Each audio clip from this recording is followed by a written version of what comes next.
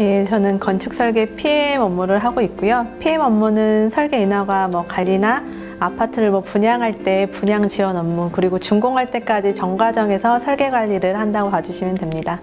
저는 커뮤니케이션 능력과 협업 능력이 가장 중요하다고 생각이 듭니다.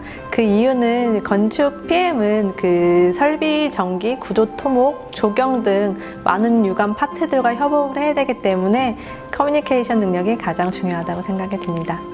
어, 자기 일에 좀 책임감을 가지고 그 PM 업무가 자기 자체의 업무를 하는 거기 때문에 상하 관계보다는 자기 자신이 컨트롤할 수 있고 책임감이 큰 친구들과 일하는 걸 저는 원합니다.